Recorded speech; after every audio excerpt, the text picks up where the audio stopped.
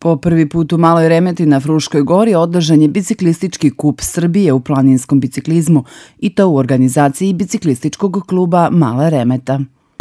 Lepo smo se potrudili da vozači uživaju u stazi jer idealna lokacija za ovaj sport i ja se nadam da ćemo nastaviti još jače, zanimljivo, interesantnije.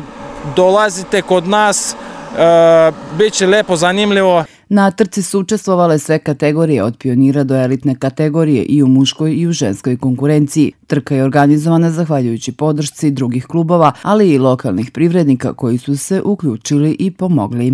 Danas smo se potrudili da, da ugostimo preko 120 učesnika, da napravimo jednu lepu atmosferu i nadamo se da je ovo jedan, e, jedan početak jedne lepe saradnje u Maloj Remeti gde želimo i turizam i sport i sve da objedinimo u, u, u ovu našu lepu, lepoticu sa uh, Fruške gore.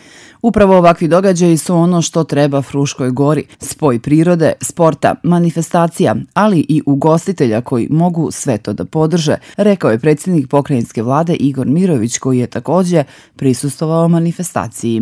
Ne znam da li vaši gledalci mogu da vide, ali zajedničkim trudom svih nivoa vlasti mi smo uspeli da rekonstruišemo puteve na Fruškoj gori.